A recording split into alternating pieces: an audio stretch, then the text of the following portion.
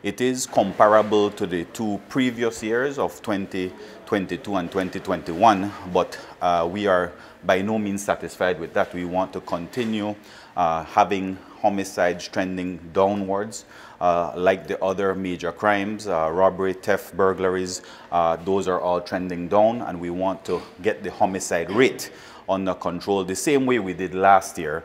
Um, if you could recall, we had several months go by, I think, towards the end of the year, uh, August, September, October, in which you had maybe one or two murders. Those were very impressive uh, numbers, and we want to actually get those numbers back on stream. Uh, we anticipate over the next uh, two, three months we should have a decrease in the number of murders, uh, but at the same time, we are not letting up whatsoever. We are applying the pressure at all the pressure points and making sure uh, that we have the most efficient police strategies being employed.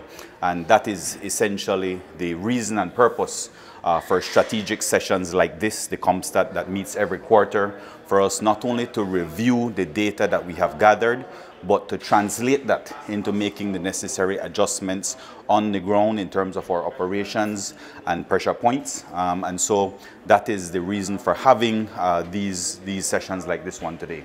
So the commissioner mentioned that there will be interventions while these young men are locked up at, um, at the facility. Um, but if after